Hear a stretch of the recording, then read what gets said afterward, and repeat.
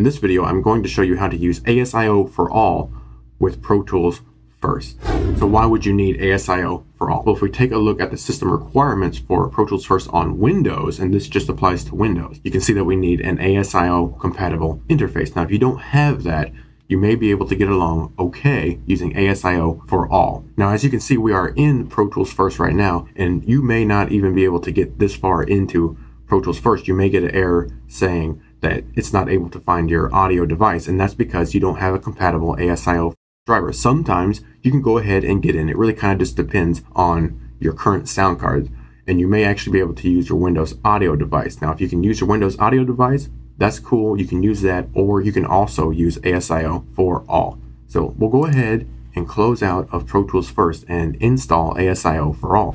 To download ASIO for all, simply come to asioforall.com and download from whichever link you prefer.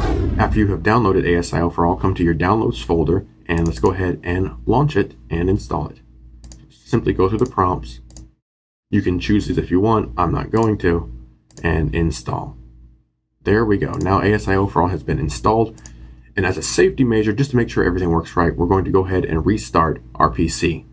Now we have restarted our computer and we'll go ahead and launch Pro Tools first you may have a pop-up that says, go ahead and sign into your account. It auto signed me in because I actually had my sign-in authorization saved, and then it will continue to load up. Now you may think, what do I have to do with ASIO for all? Well, the cool thing about ASIO for all is most of the time you will not have to do anything at all. It will automatically be the driver that Pro Tools First will use automatically. If you if you're still getting an error that says we cannot find your interface, close down Pro Tools First, restart it, and hold down the N key on your keyboard. Upon launch, you should then be able to choose the ASIO for all driver for Pro Tools First to utilize when it starts up. So I'll go ahead and let this continue loading up.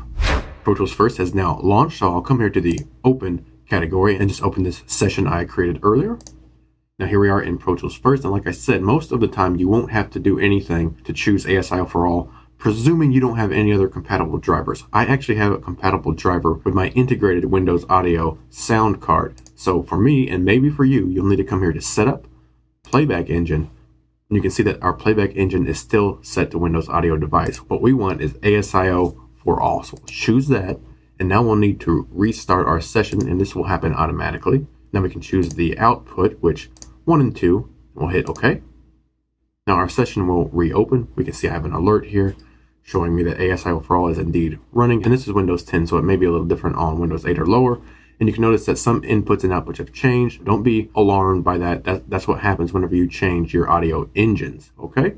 So we don't need to save a detailed report. So we'll go ahead and open up our session now. If we come back to setup, we can come here to playback engine and make sure we are indeed using ASIO for all. And we can come to setup and go to hardware. And this will open up our ASIO for all control panel. All right, and we can see exactly where things are routed. You can see that it's my Realtek high definition audio device. We can click our wrench here and hit this plus. We can see exactly what we have. So HD audio output, that looks right. Okay. Close that. And ASIO device properties have been changed, so Pro Tools must be restarted. Okay, we'll go ahead and restart. Pro Tools first has closed, I'll go ahead and relaunch it here.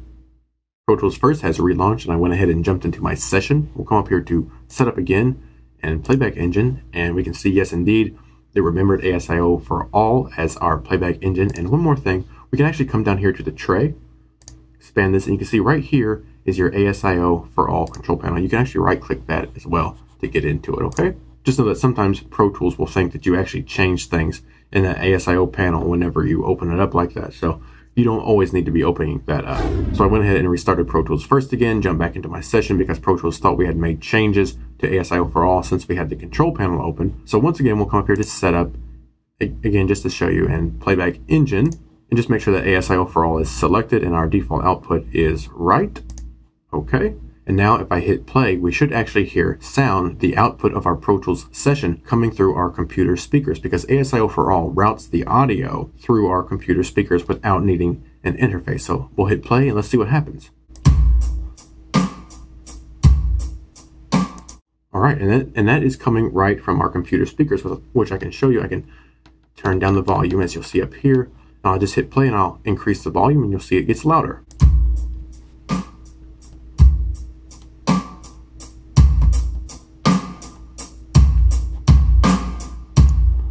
Right, so there you go. That's how you can use Pro Tools First without an ASIO compatible interface by using ASIO for all as the driver to send the sound of Pro Tools out of your computer speakers. Now, I usually use something like the Eleven Rack, which is an ASIO compatible device.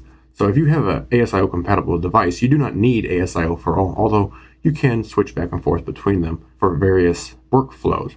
So if you're getting errors upon opening Pro Tools first saying you do not have a compatible interface, head over to the ASIO for all page, download it, install it, follow the instructions in this video. All the links you need will be provided in the description below. Once again, make sure that if ASIO for all is not chosen automatically for you, make sure you come up here to your playback engine and you choose that.